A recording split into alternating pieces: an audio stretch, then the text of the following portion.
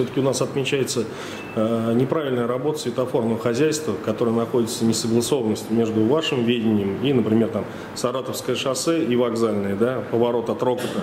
Сейчас там создается аварийная ситуация, потому что светофор стрелка на поворот, то есть не согласовано с тем светофором, который на выезд на вокзальную, например, улицу. А, может быть, какую-то рабочую группу или вы уже собирали, какие-то решения должны быть уже?